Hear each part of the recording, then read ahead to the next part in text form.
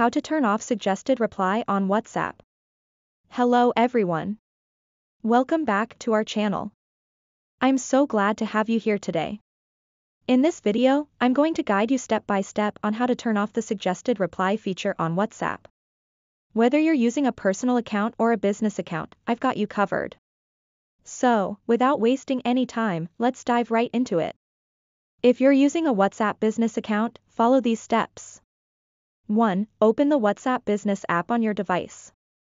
2. Tap the three dots in the top right corner to open the menu.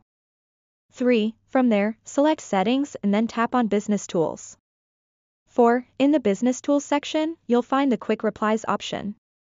Here, you can customize or disable automated replies that are being sent to your customers.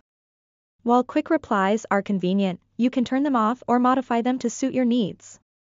Now, if you're using a personal WhatsApp account, the steps are slightly different. 1. Open your device settings, not WhatsApp settings. 2. Scroll down and select Notifications. 3. Look for the option called Additional Notifications or More Notifications, this may vary depending on your device. 4. Within this section, find the toggle for suggested reply and turn it off. That's it. This will stop WhatsApp from showing those suggested responses under your incoming messages.